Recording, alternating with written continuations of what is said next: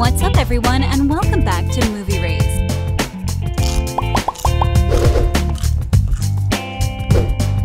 Spoilers for Downton Abbey 2 ahead. After the premiere of Downton Abbey A New Era, Julian Fellowes hinted at a continuation. Sadly, the third installment will be without Dame Maggie Smith. But let's get into more details, shall we? Have you told them, Lady Grantham? She's told us nothing.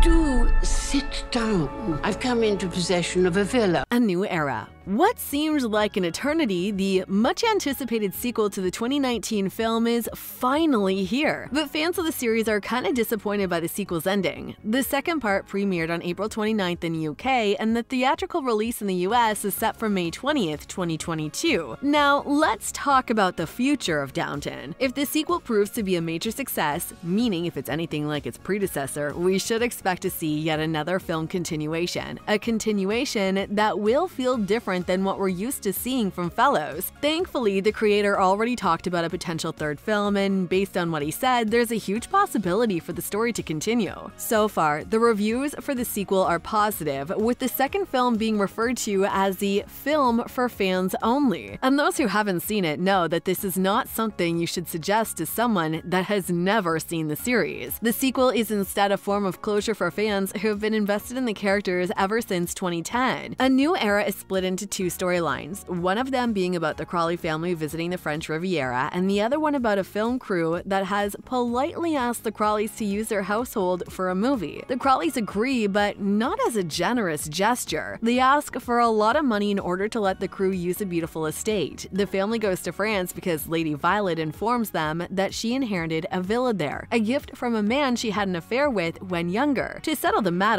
Violet's family decides to go there and see what exactly is going on. Meanwhile, the film crew is working on their film with Lady Mary, making sure they don't wreck out the estate. Roll the camera and action.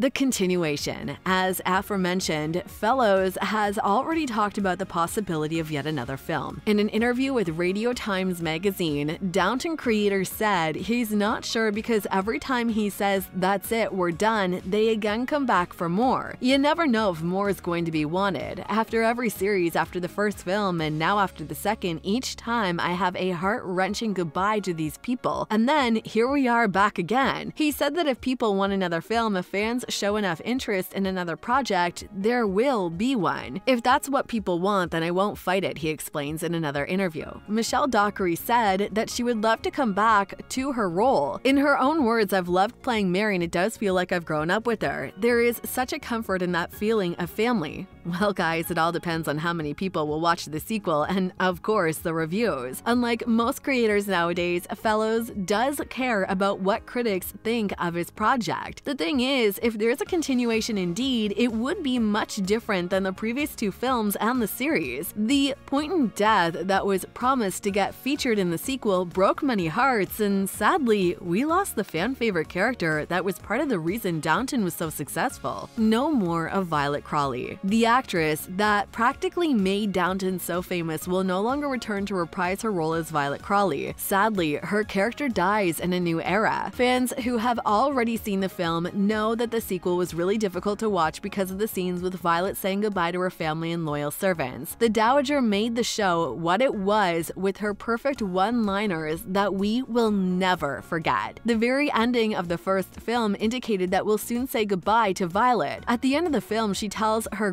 granddaughter Mary that she suffers from an unknown illness. Thankfully, fans got the chance to find out a bit about Violet before she loses her life. The film reveals that she had been in love as a young woman with the Marquise du Montmirail, and the couple spent an entire summer on the French Riviera. But despite her love for Marquise, she married Robert's father, Lord Grantham. This doesn't mean she was unhappy in the marriage with Lord Grantham, quite the opposite. She says they managed to create a beautiful marriage and a wonderful family together. After she informs her family of the affair, Violet leaves Montmirail's villa to get her great grandmother Sybil Sibby Branson. Near the end of the sequel, viewers see the entire Crawley family and their servants paying the last visit to the fan favorite character. She then passes away peacefully. In one of the last scenes, we're seeing the entire cast of Downton following the hearse carrying her coffin to the funeral. We believe every single person shed a tear or two during these moments, and we have to say that the 87 year old actress's performance was perfect. But now that her character is dead, we're not sure how good a third film would be. It's not like the other characters don't deserve to be praised. They are also part of the reason Downton is so loved and successful. But a film without Violet would certainly feel,